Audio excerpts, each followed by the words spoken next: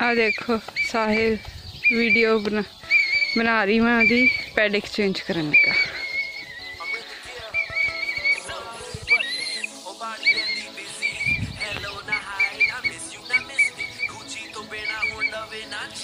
देसी मज़े देखी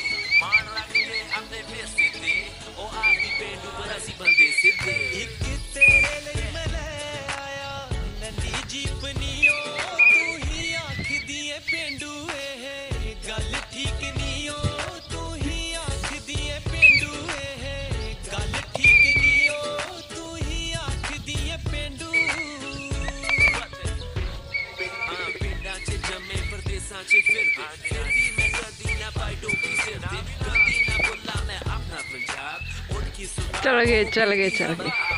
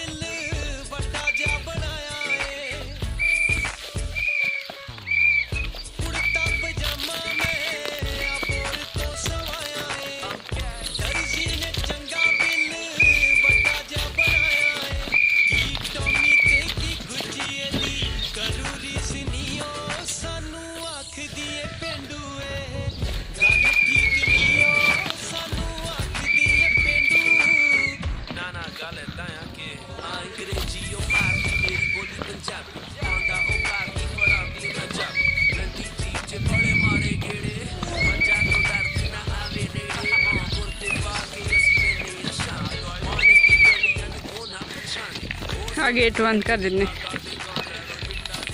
ਹੁਣ ਇਹਨਾਂ ਨੂੰ ਆਪਾਂ ਉੱਥੇ ਲਾਈਨ 'ਚ ਖੜੇ ਕਰਕੇ ਦਵਾਈ ਲਾਣੀ।